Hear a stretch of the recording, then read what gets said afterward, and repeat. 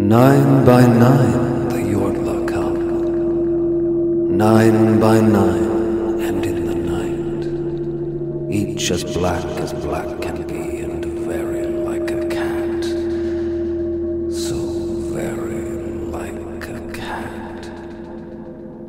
Small and svelte and emerald-eyed, quadrupedal and clawed, each one yowling like a child a tortured, wordless, wailing child.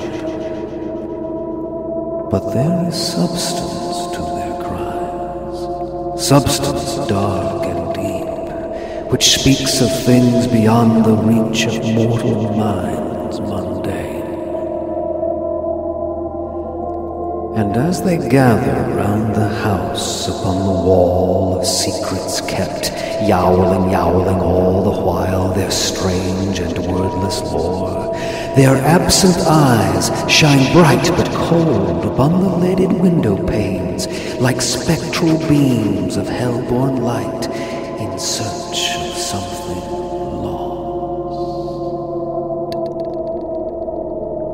Spectral beams that by and by, through cracks and holes and porous dreams, find their way